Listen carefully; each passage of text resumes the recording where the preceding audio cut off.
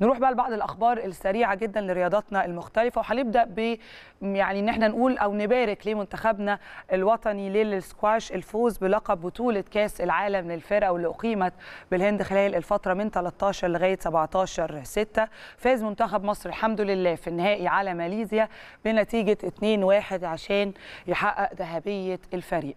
اتأهل الفريق كده عندك للمباراة النهائية بعد تصدر المجموعة الأولى بالعلامة كانت الكاملة وده برضو يعني إنجاز كبير جدا بعد الفوز في الجولة الأولى على أستراليا. كانت مباراة قوية بنتيجة 4-0 بعد كده الفوز في الجولة الثانية على كولومبيا بنفس النتيجة. وبعد كده فاز الفريق على المنتخب عفوا فاز المنتخب على المنتخب الماليزي بنتيجة 3-1 عشان يحصل في النهاية على 12 نقطة. يعني ما فيش جديد قوي نقدر نقوله في عالم يعني السكواش ولكن برضو أعتقد شيء مشرف جدا إن إحنا نسمع أرقام زي دي. وكمان score زي ده مع منتخبات قوية جدا. برضو في هذه اللعبة وفيها تنافسية أكيد شديدة. ننتقل للتنس وميار شريف بطلة التنس المصرية واللي تأهلت طبعا وهي المصنفة رقم 40 عالميا تأهلت لنهائي بطولة فالنسيا المفتوحة للتنس الأرضي اللي هي التنس يعني المقامة خلال الفترة من 12 لغاية 18 يونيو. طيب ده يعني بعد طبعا تغلبها على الأرجنتينية ناديا بورتسوكا ودي من أشهر أو من أقوى كمان اللاعبات خلي بال حضراتكم يعني لاعب لاعيبه زي ما اتقال عنها مخضرمة.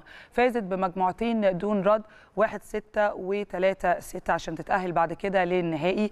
يعني ميار شريف نقدر نقول فعلا ظاهرة قوية جدا وناجحة جدا وتوجت كمان منذ أيام إحنا تابعنا ببطولة ماكراسكا الدولية للتنس وأنا وكريم اتكلمنا عنها الأسبوع يعني الماضي.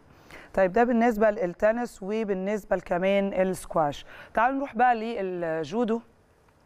وبطولات الموسم يعني المحلي تحديدا للجودو اللي بتشهد برضو حالة من الزخم. سميها كده من حيث انت بتتكلم عن حجم المشاركة وكمان حجم المنافسة في جميع المراحل يعني العمرية. وأعتقد كمان إن ده بيمهد إن انت تقول إنك أفضل يعني رياضة زي الجودو موجودة عندك وإن انت كمان وضعت قدمك على طرق العودة مرة تانية لمنصات التتويج. من جديد إن إحنا كنا غبنا فترة كده لحضراتكم طبعا متابعين هذه الرياضة تحديدا. الأيام بقى اللي فاتت أو الأيام الماضية شهدت إقامة بطولتي جمهورية تحت 10 سنين وتحت 12 سنة. هنا بتتكلم للبنين وللبنات باستاد القاهرة ووصل حجم المشاركة في البطولتين إلى أرقام قياسية لم يسبق تحقيقها قبل كده. وشارك فيها كمان 3500 لاعب ولاعيبه أعتقد عدد كبير جدا تنافسية شديدة جدا من كل محافظات الجمهورية. أعتقد ده يخلينا كمان يعني نهتم بنشر اللعبة دي في جميع المحافظات وده يمكن اللي بيحصل دلوقتي على أرض الواقع. وكمان رفع حجم المشاركة في البطولات المحلية لزي ما بيتقال كده صناعة تاريخ جديد للعبة. يعني أعتقد إن هي بتشارك في كل المحافل الدولية وقارية ومتواجدة وإحنا يمكن كنا عندنا كمان باع كبير فيها جدا. في فترة ما وبعدين حصل دروب وبنعود أهو زي ما كنت بقول لحضراتكم يعني من جديد بالتوفيق إن شاء الله والسعداء بكل الأرقام اللي أنا بحكيها لحضراتكم على يعني سياق رياضات مختلفة حتى هذه اللحظة.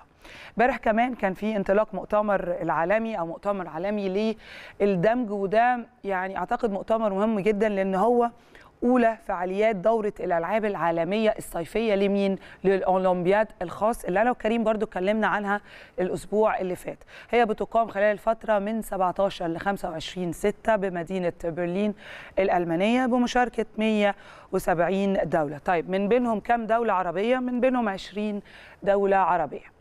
دورة الألعاب الأولمبية أو دورة الألعاب للأولمبياد الخاص هنا بتتكلم عنها إن هي الميزة بتاعتها كمان بتتيح للرياضيين اللي هم من ذوي الإعاقة الذهنية فرصة المشاركة في مجموعة متنوعة بقى من الرياضات وكمان الاحتفال بإنجازاتهم. تعزيز كمان يعني الاعتراف بالمشاركة الاجتماعية لذوي الإعاقة عامة والإعاقة كمان الذهنية على المستوى. هنا بنتكلم مش المحلي بقى بتروح للمستوى العالمي وبتشارك مصر كمان في الألعاب العالمية الصيفية للأولمبياد الخاص. يعني ببعثة مكونة أو بتضم 69 لاعب تحديدا ولاعبة و37 مدرب ومدربة عشان تمثل مصر في كام رياضة في 15 رياضة. أعتقد برضو ده أمر محترم بالتوفيق ليهم. وهم سو فار لو أنت رجعت برضو ل يعني عدد الميداليات بتاعهم وتاريخهم الرياضي شوية هتلاقي لأ الناس دي أو الفئة دي أو الرياضيين دول عاملين عدد بطولات وميداليات أكتر بكتير من عندنا يعني الأولمبيكس أو الأولمبيات العادية.